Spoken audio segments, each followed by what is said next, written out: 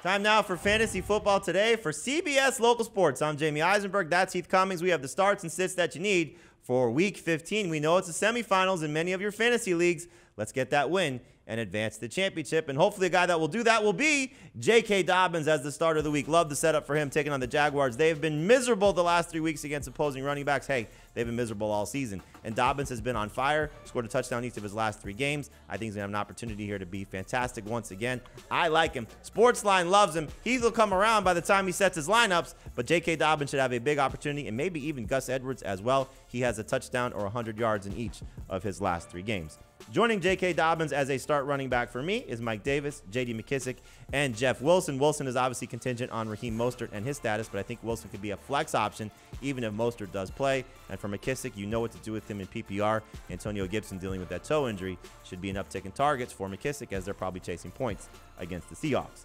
The sit running backs for you, Heath, are Todd Gurley, James Conner, and Devin Singletary. And we know the Bills' running back situation has been very up and down and this week could be a down one for Devin Singletary. The nice thing is, if you don't like the Bills' running back situation, just wait a week. It will change. Devin Singletary had back to back games with at least 80 total yards. Zach Moss was out of the picture until last week, and then Zach Moss was leading back. You can't trust any Bills running backs. All right, we go now from the running backs to the quarterbacks. And Heath, the guys that you like this week are Mitchell Trubisky, Kyler Murray, and Derek Carr. And Trubisky, coming off a great game last week against the Texans, will he follow it up with a good game against the Bears? He's been most, Vikings, excuse me. mostly good this year. I have 24 fantasy points or more in three of five complete games. He's reached 30 fantasy points in two of those games. In his five complete games, he's averaged 23 fantasy points per game. I'm starting him against the Vikings. Got to wonder how Trubisky doesn't practice against that own defense of the Bears. Probably that's what I was thinking, just to see how that would go for Trubisky. The sit quarterbacks for me: Cam Newton, Matt Ryan, and Baker Mayfield. Baker's been on a nice roll, 22 or more fantasy points in three straight games, but I think that stops this week against the Giants. They allow fewer than 18 points per game on average this season to opposing quarterbacks, and they held the last two guys that they faced, you may have heard of them, Russell Wilson and Kyler Murray, to fewer than 19 fantasy points. I think Baker's hot streak comes to an end here, but don't forget, next week he gets the Jets. He should get hot in that week if you need him. The start wide receivers for week 15 include T.Y. Hilton, Juju Smith Schuster, and Chris Godwin. And we know it's been a very up and down season for T.Y. Hilton, but he is up up and away right now, and he dominates the Texans in 17 career games against Houston's defense. 98 catches, 1,700 yards, and 11 touchdowns.